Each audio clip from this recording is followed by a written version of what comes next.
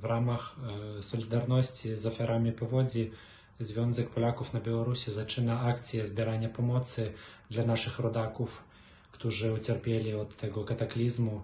My jesteśmy solidarni z nimi, zwłaszcza z mieszkańcami miasta Nysa, które zawsze przyjmowało naszych dzieci, naszych działaczy, które zawsze solidaryzowało się z nami w ciężkich e, sytuacjach, które u nas byli. I teraz my chcemy e, tym się odwdzięczyć i zbieramy, zaczynamy zbierać pomoce e, dla, dla ofiar i przekażemy je dla mieszkańców Nysy.